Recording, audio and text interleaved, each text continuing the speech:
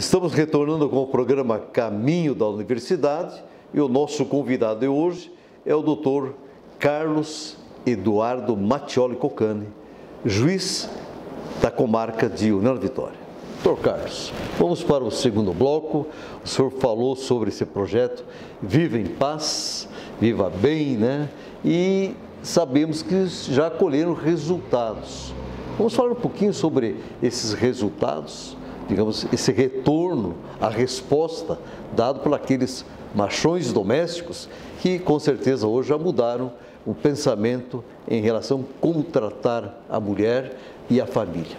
É, é interessante, professora Luísa, porque o juiz ele não aparece nesse projeto, ele encaminha, né? aí o, o, suposto agressor recebe um documento, comparece na universidade do contestado e vai nos encontros de psicologia, são encontros coletivos.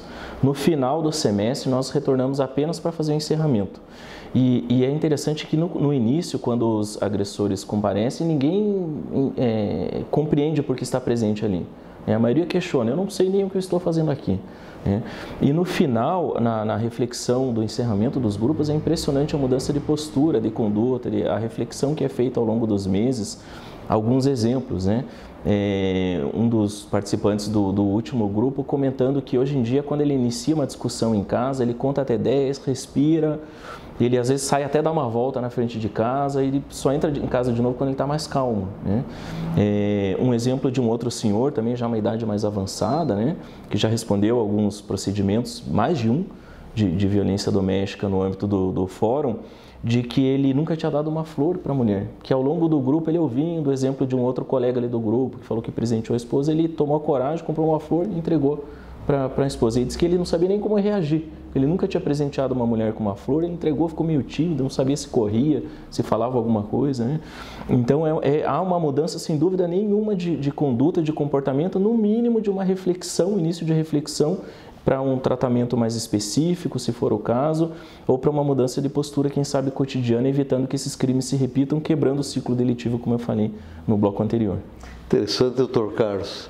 Coragem para agredir a esposa, né, ou membros da família, ele tinha. Mas na hora da questão de entregar uma flor, você ver que quebrou, né? E mostra o lado da, é, sensível também do homem, quer dizer, ele é um vencedor, diga-se passagem que ele conseguiu. Que bom saber desses resultados. É gratificante, né, doutor Carlos? É, nós temos que, nós do judiciário particularmente, devemos ter em mente que a forma tradicional de solução de conflitos com o processo judicial e a sentença não resolve os problemas a contento. Né? Então, a nossa busca é de mecanismos diferenciados, trabalho multidisciplinar, contando com parcerias para que possamos fazer uma transformação das pessoas eventualmente envolvidas nos processos para que elas mudem e nós possamos resolver o conflito de forma mais completa. Essa é a nossa visão, esse é, uma, esse é um projeto que demonstra essa possibilidade, sem dúvida nenhuma, de, de forma mais qualificada de resolução de problemas judiciais. Muito bem.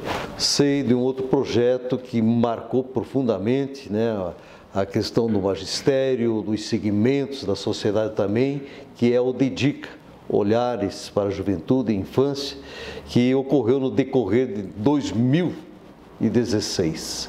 Nos fale um pouco, doutor Carlos, em relação a esse projeto Dedica.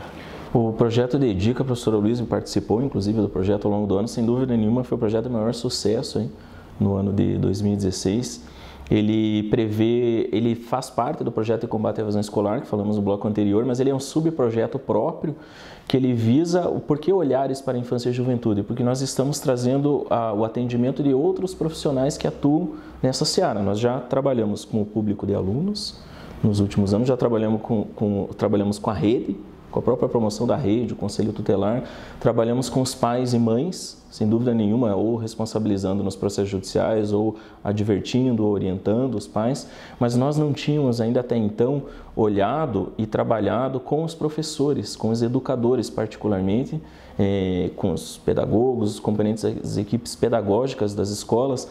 Então, a ideia do professor Ricardo Bunhago, do Dr. Júlio Ribeiro de Campos Neto e do nossa, do Poder Judiciário, representando a Vara da Infância Juventude, foi de trazer profissionais de alto gabarito, e assim o fizemos no decorrer de 2016, que não, sem custo nenhum, diga-se de passagem, né? profissionais que vieram é, trazer aqui o seu conhecimento de forma qualificada, poder promover assuntos que são de interesse dos professores, sem dúvida nenhuma, são questões que o professor tem que lidar no dia a dia, na sala de aula. O aluno evadido que retorna, normalmente é um aluno indisciplinado, é um aluno que desrespeita o professor, bagunça o ambiente em sala de aula.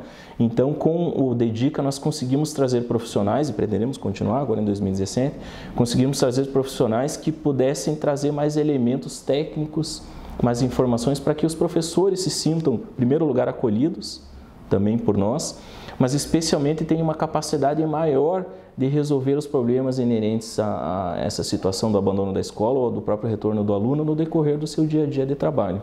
E, e, o fizemos assim no ano de 2016, trouxemos inúmeros desembargadores, procuradores de justiça, inclusive algumas personalidades que foram aí até legisladores, né, que, que criaram aí o Estatuto da Criança e do Adolescente lá atrás, e podemos aí, felizmente, sempre com o auditório lotado, podemos aí trazer um maior conhecimento que muitas vezes não vem pelo executivo, né, que é uma dificuldade maior do executivo, uma dificuldade financeira, inclusive, de promover capacitações desse gabarito e o melhor de tudo, na própria comarca, sem que os educadores precisassem se deslocar para um grande centro ou precisassem custear um curso à distância com pessoas aí mais renomadas.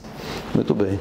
Doutor Carlos, eu sei que o senhor é uma pessoa preocupada junto ao Poder Judiciário e ocorreu algo assim de grande relevância 2016 em relação à inauguração de um posto avançado da Vara da Família na cidade de General Carneiro. Nos fale deste pensamento do Judiciário estar realmente se deslocando para os demais municípios. É, nós temos uma das maiores comarcas do Paraná em extensão territorial, professora Luiz. Já pensamos em dividir, teve uma dificuldade legislativa, precisa de projeto de lei, às vezes há uma resistência na Assembleia Legislativa, né? o próprio Tribunal de Justiça, na origem, tem que mandar o projeto de lei para a Assembleia, ou seja, extremamente burocrático. O, a divisão da comarca seria com qual razão? Para colocar o fórum mais perto das pessoas. Isso não foi possível. É, nós fizemos por conta. Né? A, é importante sempre destacar que a pioneira nessa iniciativa é a doutora Jane Carla Furlan, que levou primeiro os juizados especiais, as pequenas causas, mas nós, assim que possível, levamos também a vara da família, é, há três anos atrás para Bituruna, há dois anos atrás para Cruz Machado e agora no passado em General Carneiro. Nós temos aí três fóruns no interior, é uma estrutura de fórum, tem sala de audiência, mais de uma sala de audiência, tem o um atendimento cotidiano ali se a pessoa precisa protocolar um documento, tirar uma dúvida. E nós vamos, o principal, nós vamos pessoalmente, inclusive eu, como juiz de direito, vou fazer as audiências de instrução e julgamento. Né? Com isso, quem reside, por exemplo, em General Carneiro, onde foi inaugurado o posto, a partir de agora não precisa se deslocar um processo da vara da família até o fórum aqui para fazer audiência. Nós sabemos que esse deslocamento é custoso, muitas pessoas têm dificuldade de transporte, pode perder um dia de trabalho, né? por mais que a legislação proteja o trabalhador, mas às vezes recebe por diária, o trabalho informal, às vezes não há com quem deixar os filhos, né? Então nós estamos levando o poder judiciário até mais próximo, né? de maneira mais próxima das pessoas, estamos indo até onde elas estão para que possamos promover socialmente, inclusive, as comunidades que atendemos. É, é importante dizer, professora Luiz, em Bituru, né, onde nós temos três anos de posto avançado já, ou seja, temos o fórum lá funcionando há três anos, nós tivemos um aumento de mais de 10 vezes do número de processos na área da família. Processo de divórcio, separação judicial, pensão alimentícia, guarda de criança, investigação de paternidade. Ou seja, aumentou mais de 10 vezes por qual razão? Porque as pessoas não procuravam seus direitos. Né, alguém residente em Bituruna que tinha um problema de família, ao verificar a distância do fórum, ter que vir numa audiência, às vezes uma segunda audiência, as testemunhas não vão, porque não vão perder o dia de emprego. E de repente a pessoa não buscava um direito que ela tinha constitucionalmente assegurado, poderia buscar guarida judicial, mas ela não ia atrás. E com o fórum lá presente, facilitou significativamente a vida de quem lá reside, agora em General Carneiro. Né? Então as pessoas correm até o fórum que fica no centro do município, posto avançado, nós chamamos. De repente o fórum, já, o posto avançado fica no centro, onde a pessoa já se desloca para fazer uma compra ali no, no, no, no, fim do mês, ela vai nas agências bancárias. Então, mesmo quem mora no interior do município já tem o hábito, ao menos, de ir até o centro do município e comparece também no fórum quando necessário. Né? Então, o posto eh, foi inaugurado no final de 2016 e agora, em 2017, vamos aí dar início ao atendimento às pessoas também no âmbito da Vara da Família e do Centro de Cidadania. Beleza. Quer dizer, existe um andamento em relação aos processos, é uma rapidez nos processos. Os senhores não têm aquele acúmulo de processos que ficam, às vezes, em algumas comarcas, aí, anos e anos, doutor Carlos? Não, nós temos, professora Luiz, a pergunta é muito boa. Nós, não temos, nós temos uma grande quantidade de processos em trâmite.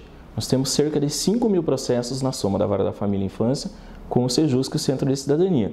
Mas esses processos estão rigorosamente em dia. Isso é importante destacar. Nós temos esses vários projetos de cidadania, de trato diferenciado das questões que normalmente são levados ao judiciário, mas nós não deixamos de lado os casos que já atendemos da forma tradicional. É, esses 5 mil processos eles estão em dia, estão tramitando normalmente, é, não há nenhum tipo de atraso, as audiências, as pautas de audiências normalmente acontecem de 30 a 40 dias, que é um prazo bem curto, né? Nós somos inclusive elogiados pela Corregedoria Geral da Justiça por esse prazo ser aí é, muito razoável. É, basta dizer, por exemplo, que uma vara da família em Curitiba é no mínimo nove meses para marcação de uma audiência, que nós fazemos cerca de um mês depois. É, não há processos conclusos, parados no gabinete judicial, os processos têm uma vazão muito rápida. Então, em que pese uma quantidade muito grande de processos, 5 mil é um número relativamente alto, ainda mais para causas de família, mas os, os processos estão andando. esses projetos que nós falamos, vários deles aqui no programa, eles têm uma estrutura paralela montada dentro do fórum, junto ao Sejusc, que levam os projetos adiante, com servidores, estagiários, voluntários, mas sem prejuízo da forma tradicional nas pessoas que, que optam pelo caminho tradicional para a resolução dos conflitos, que é o processo judicial, os processos têm tramitado normalmente. Muito bem. Doutor Carlos Eduardo Macioli Cocani, 2016 é, ficou uma marca positiva de reconhecimento, de gratidão. Claro, nós trabalhamos, todos nós, mas como é importante quando vem algo que diz assim, vocês estão no caminho certo vocês merecem um reconhecimento. Nos fale desta premiação do Tribunal de Justiça do Estado do Paraná em relação aos projetos dos senhores, por gentileza. É, importante dizer, professora Luiz, quando nós começamos lá em 2002, início da carreira, 2005, começo da União da Vitória, 2008, o maior projeto que existe hoje, que é o de combate à evasão escolar, nós já tínhamos essa visão de tratar de maneira diferente as questões que chegam até o fórum, até porque nós sabemos que a, a, a forma tradicional, a ação judicial, a audiência, o fórum não resolve muitas vezes o problema da pessoa. Né? Não raro a pessoa chega no fórum, faz um acordo, aí sai da sala de audiência, olha para o outro e fala, não vou cumprir. E o processo não resolveu absolutamente nada. Estatisticamente, o juiz é um juiz operoso. Ele não só resolveu o processo rapidamente, como por meio de um acordo, que é a forma mais recomendável. Mas e se o sujeito não cumpre o acordo? Então, a, essa forma diferenciada já vinha sendo trabalhada por nós por toda a equipe já há muito tempo. É, houve agora, de 2010 para cá, um reconhecimento do Conselho Nacional de Justiça por meio de uma normatização, por meio de resoluções, de que essa é uma forma que deve ser incentivada e trabalhada pelo Poder Judiciário brasileiro. Então, nós tivemos agora um reconhecimento normativo. E no ano de 2016, agora tivemos a felicidade de receber esse prêmio, é, JUS 21, que é um prêmio de inovação e cidadania que reconhece a importância desses projetos dessa forma diferenci diferenciada de trabalho. Né? Para nós é bom porque o próprio Tribunal de Justiça, que é o órgão de cúpula, é órgão instituição que promove os serviços judiciários no Paraná, reconhece que a nossa forma de trabalho é uma forma é, diferenciada e, e, e digna de, de elogios por ter recebido essa premiação. Bom, parabéns ao senhor e essa equipe Obrigado. maravilhosa que está no dia a dia. Nós ficamos orgulhosos de saber que é, o Poder Judiciário aqui da Vitória está sendo reconhecido. Meu caro doutor Carlos, 2017, projetos e parcerias. Já estamos com o tempo estourado. Rapidamente, nos fale como será 2017. É, nós já temos o convênio com a Uniguaçu e com a Universidade do Contestado e com todas as prefeituras da região. Estamos fechando, formalizando agora, finalmente, os convênios com a Unespar e com a Uniuv pretendemos trabalhar com mais afinco com a questão da violência doméstica num convênio com a Delegacia da Mulher, que está é, prestes a ser inaugurado aqui na nossa comarca. Então é um ano que certamente continuaremos com todos os demais projetos e iremos aí buscar mecanismos outros ainda para que possamos promover de forma mais digna a, o reconhecimento dos direitos das pessoas que procuram serviços judiciários no Paraná. Muito bem. Para finalizarmos, uma mensagem à população de União da Vitória e dos demais municípios que pertencem à comarca. A mensagem final nessa oportunidade de agradecer, em primeiro lugar, a oportunidade aqui da presença. O professor Luiz é nosso parceiro, né? tanto como cidadão, como, como representante do Núcleo Regional de Educação, como representante da Universidade do Contestado. Então, é com muita alegria que eu compareço sempre que chamado. Estou à disposição para tratar especialmente de assuntos de, de cidadania, de, de, questões que possamos esclarecer aí, é, dúvidas das, das, pessoas que nos ouvem, saber como funciona o trabalho do Poder Judiciário, o que nós fazemos em prol das pessoas que residem aqui em todos os municípios da nossa região. Muito bem. E em nome de toda a equipe da TV Mil, nos colocamos à disposição e tenha certeza, seremos parceiros é, junto ao Poder Judiciário é, 2017. Agradecimento à TV Mil também à disposição. Doutor Carlos, eu tenho colocado toda semana o seguinte, que não existe problema sem solução. Quando você acredita no poder da palavra mágica educação. Até a próxima semana.